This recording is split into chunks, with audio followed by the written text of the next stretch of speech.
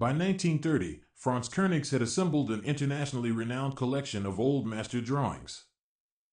Each purchase was carefully described upon returning home and added to the catalog of his Zeichnungen F. Koenigs. In this way, his collection of drawings was described fully annotated in a catalog. The artist was classified under country of origin, followed by a description of the image, the use of materials and background, the dimensions, the origin, and the date of purchase.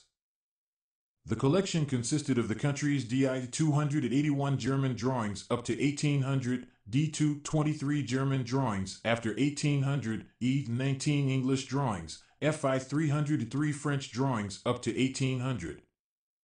F2 226 French drawings after 1800, H 260 Dutch drawings up to 1800, I 560 Italian drawings, N 194 Dutch drawings up to 1600, R 135 Rembrandt and pupils.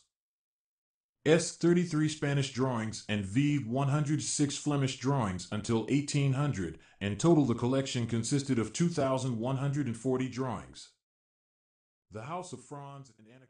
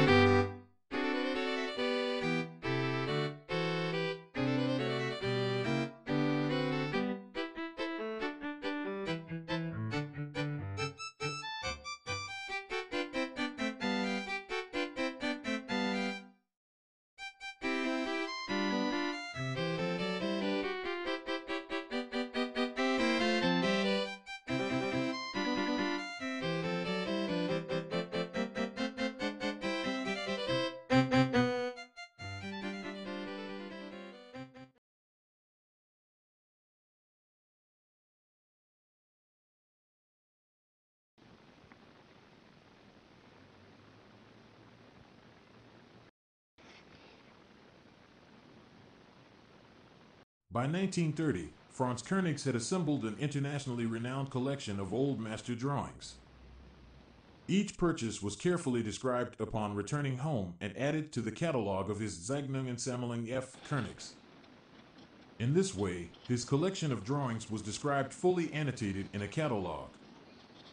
The artist was classified under country of origin, followed by a description of the image, the use of materials and background, the dimensions, the origin, and the date of purchase.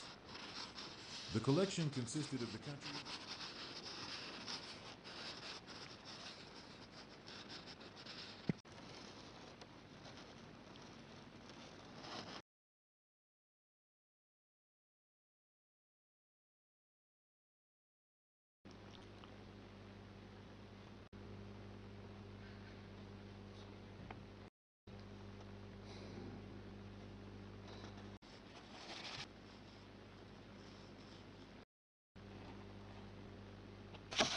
S33 Spanish drawings and V106 Flemish drawings until 1800. In total, the collection consisted of 2,140 drawings. The House of Franz and Anna Koenigs in Haarlem, Flora Park 8, was their museum.